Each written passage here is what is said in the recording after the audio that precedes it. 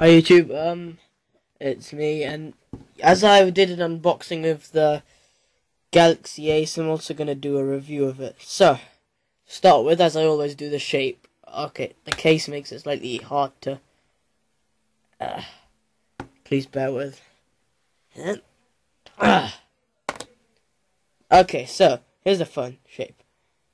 I'm gonna say this is probably the best thing about the phone, because it's got the silver thing uh, like like it, and then the back. I like the back. It's a curved, smooth back. It's nice. It's it's quite thick, but it's it's not on the thin side. It's but it's not really like proper thick, brick thick. But still, it's nice. So you have the micro SD slot over here, so you don't have to take the phone back thing out. There's a door. If you open it, that's where you put the micro USB in for charging 3.5mm jack as usual. Slightly slanted. Ah. There we go. Anyway. No, the the foot the camera's charging, so and so that's why it's slanted. Anyway, volume rocker on the left side. I think yep. And at the bottom, nothing. Well, oh yeah, the way there's the thing to open the port, open the phone back. anyway, front, the the touch sensitive keys. At the top, there's the I, th I think that's the, the front facing camera. There should be. At the back, flash, speakers, and camera. Much like an iPhone. No surprises there. Anyway, and this is the La Fleur version of it. It's meant to be. It's meant to have an 832 megahertz processor, which is a which is apparently slightly faster than the original version, but I really don't see the difference. Except for it's got, got flowers there and there. Anyway, onto the phone itself, user interface. So, it comes with TouchWiz 3.0, I think, yeah. It looks like TouchWiz 3, TouchWiz 3.0. Um, it on the box it will say Android 2.2, but I'm I'm pretty sure it's loaded with Android 2.3. Yes, and there. Android 2.3.6. It's a newer version. And so, user interface, it's got TouchWiz, so that's still, again, like iPhone, with the back black background. It's bit, and like iPhone, well, not unlike iPhone, it's got the pages, touches, and the notification bar. As you'll see, the icons are slightly, oops, the icons are slightly newer.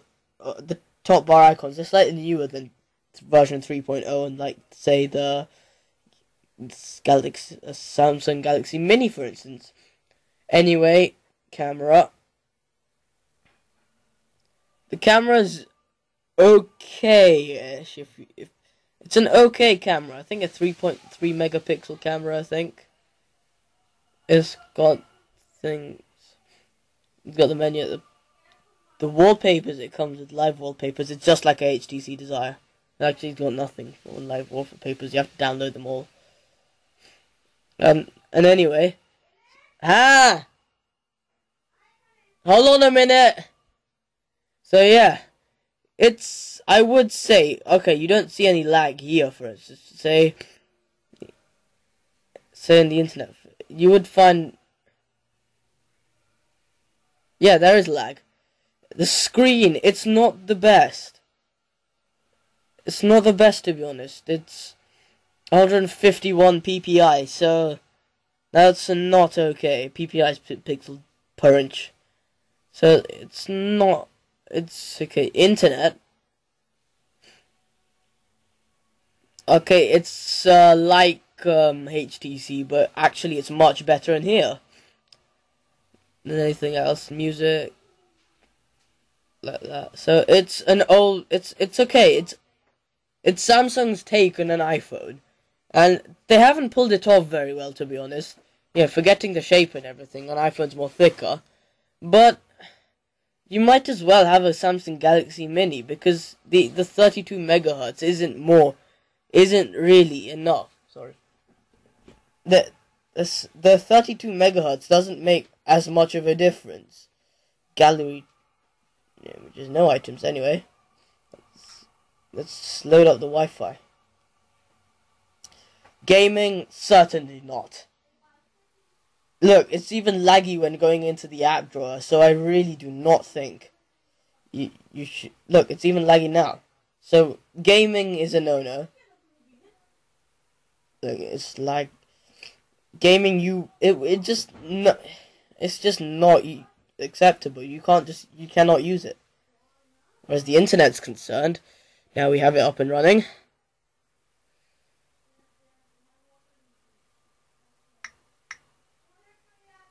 Keyboard, oh keyboard, it's old version and the internet uh, it takes time to load. It's, it's actually it's not as rich as older phones, but the desire. There's a massive be there's a massive bees. Oh wait. So Google's okay.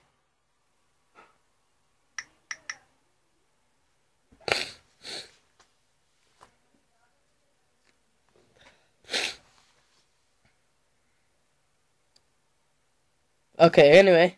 Sorry about that. Sorry about that. Anyway. So that's it has quite a thick bezel. So that's one thing they haven't covered. iPhone bezels to be honest, hold a minute.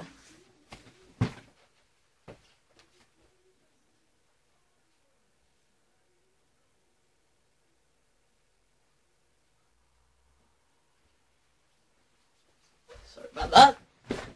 Just here we got an iPhone. The bezel, it's nothing basically compared to the Galaxy Ace. It's nothing, and the iPhone is, it's quite big. The iPhone, it's a lie. It's a 3.6, 3.565 or 3.6 inch. So that's one thing, and well, it's my mum, so I can't really load any apps or anything. But I can go on the internet, go on Facebook. So, okay, that's a bit copyright. Anyway, so yeah, it's okay as such. The battery power's not great.